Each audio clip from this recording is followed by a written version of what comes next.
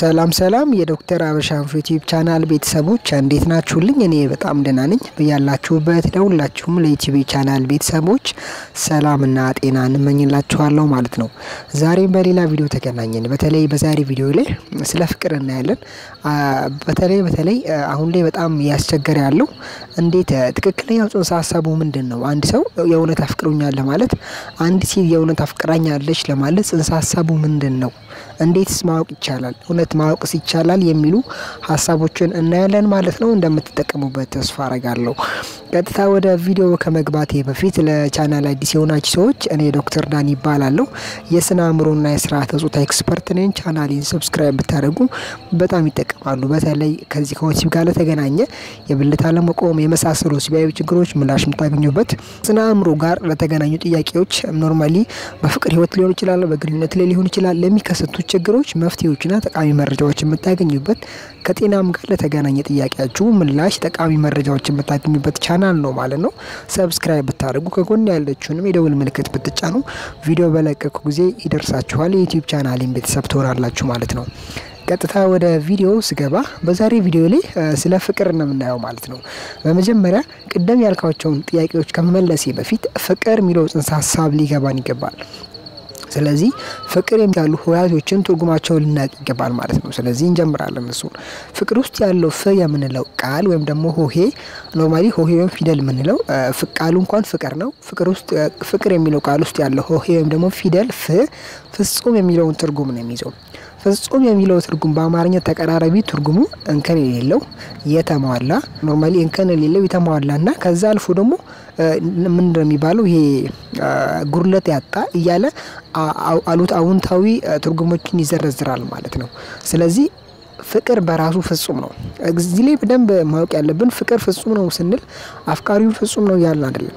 ነገር ግን ፍቅር ፍጹም መሆኑ ፍቅር ውስጥ ያለው ፍጹምነት አፍቃሪው ፍጹም እንዲሆን ያደርገዋል። ከዛም የተነሳ ነው አንድ ሴት ወይም አንድ ወንድ የእውነት አንድን ሴት ሲያፈቅር፣ አንድ ሴት አንድ ወንድ የእውነት ስታፈቅር ከሌላ ወንድ ጋር መተኛት ከሌላ ወንድ ጋር ፍቅር መጀመር የሚያስጠላት፣ የሚደብራት፣ የሚከብዳት ፍጹምነት የሚለው ባህሪ ውስጧ ላይ ስለሚገባ ነው ከፍቅር ጋር ተያይዞ ማለት ነው። ከዛም ባለፈ ፍጹምነት ወይም ደግሞ ፍጹም የሚለው ባህሪ አብሮ በውስጣችን ላይ ሲገባ ስብዕናችን ላይ ስብዕናችን ይቀየራል ማለት ነው። ብዙ ጊዜ ምን ይባላል መሰላችሁ? ፍቅር ለተበላሸ ባህሪ እንደ ማስተካከያ መድኃኒት ነው የሚባልበት ዋነኛው ምክንያት አንድ ሰው የእውነት ሲያፈቅር አንድ ግለሰብ ከዚህ በፊት የተበላሸ ባህሪ ሊኖረው ይችላል። የእውነት ግን አንድን ሴት ሲያፈቅር ፍጹምነት ወደ ህይወቱ ይገባል። ፍጹምነት ወደ ህይወቱ ይገባል። ፍጹምነት ወደ ህይወቱ ሲገባ ምን ማድረግ አይችልም?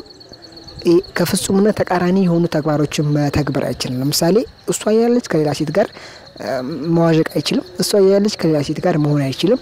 እሷ ያለች ከሌላ ሴት ጋር ፍቅር መጀመር አይችልም። ይሄ ፍቅር ውስጥ ያለው ፍጹምነት በህይወቱ ላይ ስለሚገባ ነው። ፍጹምነት በህይወታችን ላይ ሲገባ ደግሞ ስብዕናችን ይቀየራል።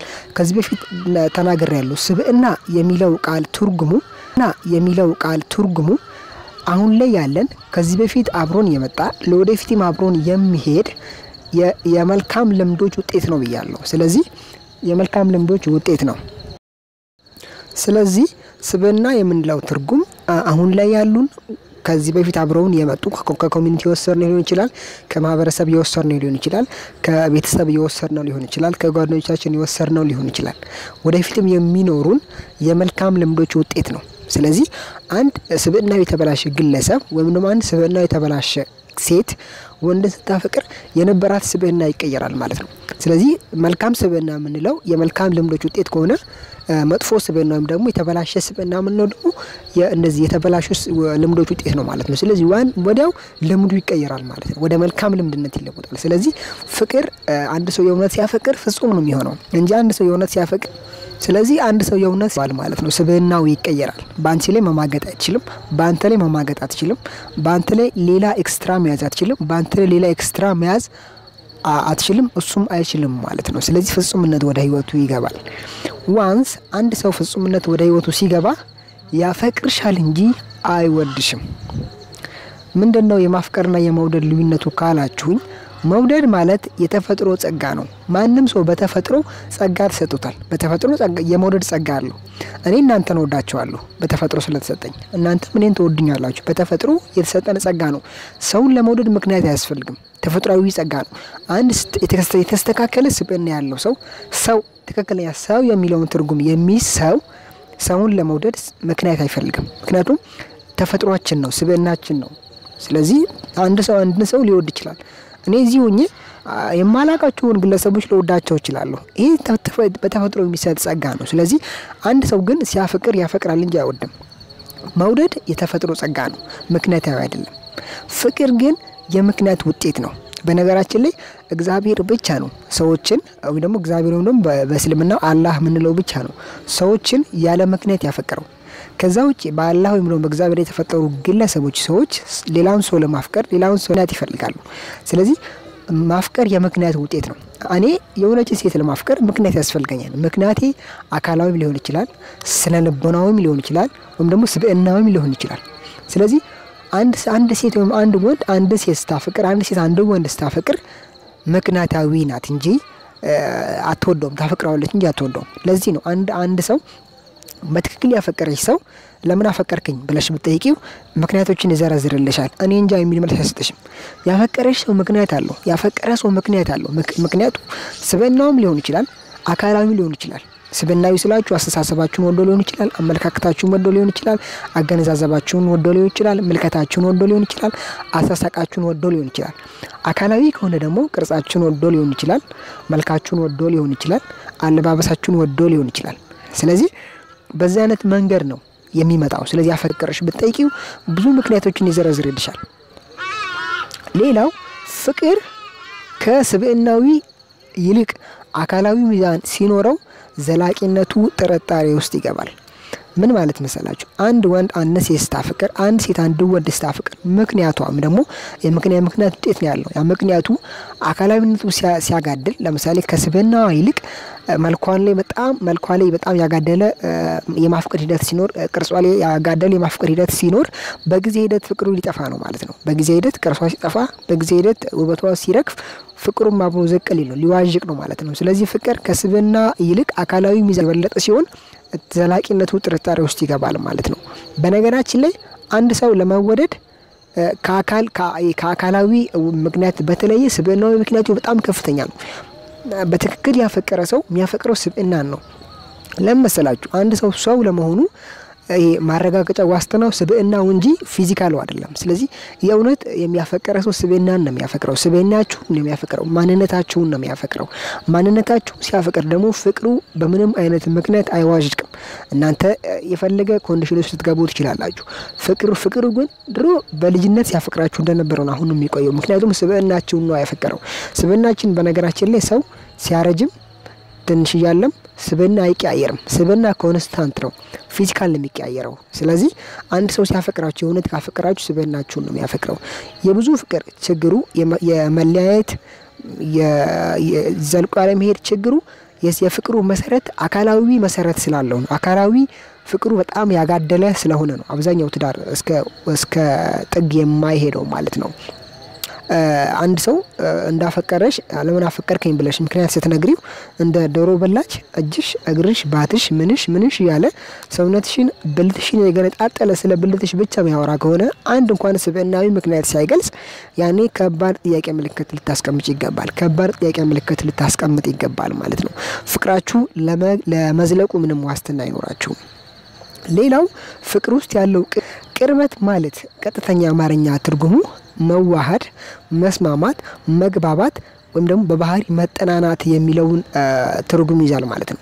ፍቅር ውስጥ ለፍቅር ለመመስረት ዋነኛው ቤዝ ቅርበት ነው። በቅርበት ውስጥ ባህሪ ለባህሪ መጠናናት አለ። በቅርበት ውስጥ ፍላጎት ለፍላጎት መጠናናት አለ። በቅርበት ውስጥ በፍላጎት ውስጥ መግባባት ይመጣል። በቅርበት ውስጥ በልዩነት ውስጥ አንድነትን መፍጠር ይጀምራል። ምን ማለት መሰላችሁ? አንቺ የእሱን ፍላጎት ማወቅ ትጀምራለሽ። አንተ የእሷን ፍላጎት ማወቅ ትጀምራለህ። አንተ ለራስህ ፍላጎት ሳይሆን ለእሷ ፍላጎት መኖር ትጀምራለህ። ያኔ በልዩነት ውስጥ መግባባት ወይም ደግሞ አንድነትን መፍጠር ይፈጠራል ማለት ነው። ስለዚህ መግባባት ፍቅር ውስጥ ያለው ቅርበት የሚለውን ትርጉም ነው የሚይዘው። ዛሬ ተዋውቆሽ ነገ አፈቀርኩሽ የሚል ከሆነ ምንሽን ያወቀው አንቺን ያፈቀረው ምንሽን ያፈቀረው አንቺ ምንም እርግጠኛ የምትሆኑበት ነገር የለም። ስለዚህ ፍቅር የምክንያት ውጤት ነው። ምክንያቱ ግን በአንድ ጊዜ የሚመጣ አይደለም። እዚህ ላይ የአይን ፍቅርና ፍቅር የሚለውን ትርጉም ልናይ ይገባል። በቀጣይ ቪዲዮ መሰራው ይሆናል። ስለዚህ ፍቅር የቅርበት ውጤት ነው። በጊዜ ሂደት የሚመጣ ዘለቄታ ያለው በጣም ይሄ ምንድን ነው ይሄ አለት ላይ የተመሰረተ በጣም ዘለቄታ ያለው የህይወት ሂደት ነው ማለት ነው። ሌላው ፍቅር ውስጥ ያለው ርህ እርጋታን ነው የሚይዘው። ፍቅር ውስጥ ያለው ርህ እርጋታ የሚለውን ትርጉም ነው የሚይዘው። ያፈቀረ ሰው የተረጋጋ ነው። ያፈቀረ ሰውና ይሄ አለት ላይ የተሰራ ቤት አንድ ናቸው። ያፈቀረ ሰው የተረጋጋ ነው። ያፈቀረ ሰው ለውሳኔ አይቸኩልም። ምን ማለት መሰላችሁ? አንድ ሰው አንተ አንድ ሴት አንተን ስታፈቅር፣ አንድ ወንድ አንቺን ሲያፈቅርሽ ማፍቀሩ ወይም ደግሞ ማፍቀሯ በምንም መስፈርት ድርድር ውስጥ አይገባም። እንኳን አንቺን አፍቅሮሽ ፎቶ እምቢ ስላልሽዋ አንድ ቀን ወይ ሁለት ቀን ሊዘጋሽ ይቅርና እንኳን አንቺን አፍቅሮሽ አንቺን የሚጎዳ ነገር እናድርግ ሲልሽ አንቺ እምቢ ብለሽ አንድ ሳምንት ሊዘጋሽ ይቅርና አንቺን አፍቅሮሽ ከአንቺ ጋር ወሲብ እናድርግ ሲልሽ እምቢ ስላልሽዋ አንድ ወር ሊዘጋሽ ይቅርና አጠቃላይ ምን ፈልጌ ነው? እሱ አንቺን የሚጎዳ ግን እሱን የማይጎዳ እሱ ሊጠቅመው ላይጠቅመውም የሚችል ድርጊት እምቢ ስላልሽው ለረጅም ጊዜ ሊዘጋሽ ይቅርና እሱን የሚጎዳ እሱን በትክክል purpose ሊጎዳ የሚችል ድርጊቶችንም ቢብለሹ እንኳን ከአንቺ መራቅ አይችልም። ፍቅር ያስገድደዋል ማለት ነው። ስለዚህ ከአንቺ መራቅ አይችልም። ምክንያቱም ፍቅር ጊዜያዊ ስሜት አይደለም። ፍቅር ዛሬ ተጀምሮ ከአንድ ሳምንት በኋላ የሚቆም፣ ዛሬ ተጀምሮ ከአንድ ዓመት በኋላ የሚቆም፣ ዛሬ ተጀምሮ ከአንድ ወር በኋላ የሚቆም ይሄ ጊዜያዊ ስሜት አይደለም። ፍቅር ድንበር የለም። ጊዜያዊ ስሜት አይደለም። ፍቅር ድንበር የለሽ ያልተገደበ ዘላለማዊ የሆነ ሀሳባዊም ድርጊታዊም ማንነት ነው ፍቅር ሰው። ስለዚህ ዛሬ አውቆሽ ነገ አፈቀርኩሽ ሲልሽ አብረሹ የምተኝ ከሆነ ዛሬ ዛሬ አውቆሽ ከአንድ ሳምንት በኋላ አፈቀርኩሽ ብሎሽ አልጋ እንጋፈፍ አንሶላ እንጋፈፍ ሲልሽ እሺ የምትዩ ከሆነ አንቺ ራስሽ ስለ ፍቅር ያለሽ አመለካከት ጥያቄ ውስጥ ሊገባ ይገባል ማለት ነው። እንግዲህ ተመልካቾች የዛሬ ቪዲዮን ይመስላል። በደንብ ብዙ ሀሳቦችን መግለጽ ፈልግ ነበር፣ ጊዜ ላብዛባችሁ ስላልፈለግኩ ነው ማለት ነው። በቀጣይ በተመሳሳይ ቪዲዮ እንገናኛለን። ጠቃሚ ሀሳቦችን ይዤ እመጣለሁ ማለት ነው። ቀጥታ በቀጣይ ቪዲዮ እስከምንገናኝ ድረስ በዛሬ ቪዲዮ እንደተማራችሁ ተስፋ አደርጋለሁ። ሀሳብና አስተያየታችሁን comment ላይ ብትጽፉልኝ እጅግ በጣም ደስ ይለኛል። በቀጣይ በአስተማሪ ቪዲዮ እንገናኛለን። ቪዲዮን share በማድረግ ሌሎችም እንዲማሩ የራሳችሁን አስተዋጽኦ እንድታደርጉ አበረታታችኋለሁ ማለት ነው። በቀጣይ ቪዲዮ አገኛችኋለሁ። መልካም ጊዜ ይሁንላችሁ ባይ